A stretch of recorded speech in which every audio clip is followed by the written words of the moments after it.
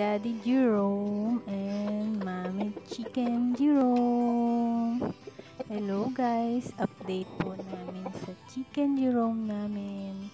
Bumili po kami ng season na Jerome. Nagsimula po kami mag-alaga.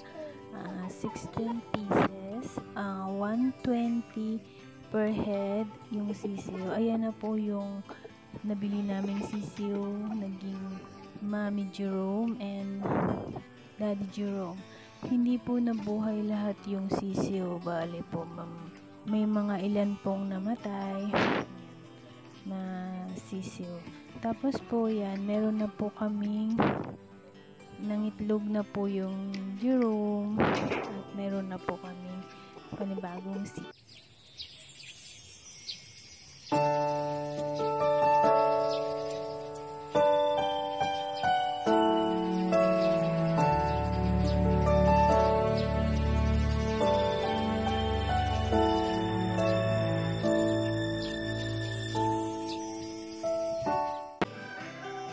Po si Daddy Jerome at saka si Mami Jerome. Yan. May mga itlog na po yung sisiyo namin.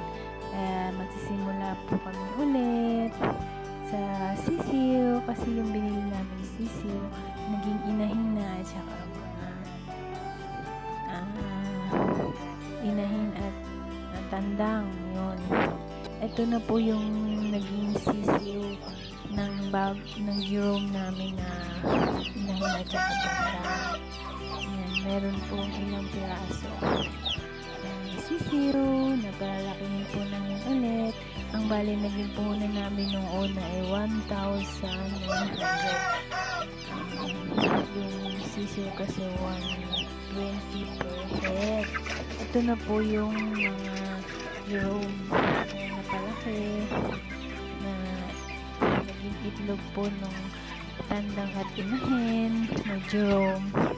Bali, ba, dyan na po yung pumapasok yung pinaka tubunan namin sa puhunan. Ayan, ang puhunan namin sa sisiyo ay 1,900 plus 16 piraso po 120 per head pero hindi po nabuhay lahat.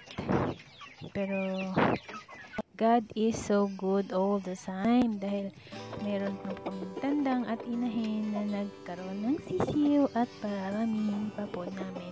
At sana po mabless po yung mabless na mabless yung blessing. Thanks God ah, sa lahat ng blessing na pumapasok po sa amin.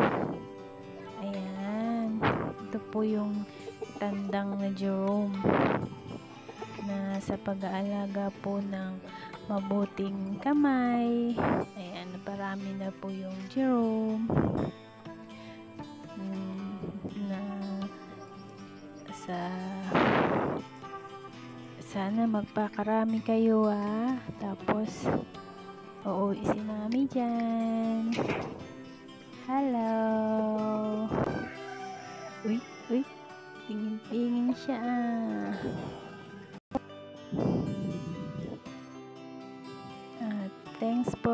Watching. Ang cute ng chicken. Jerome chicken. Ayan, nagtitingin po siya sa camera.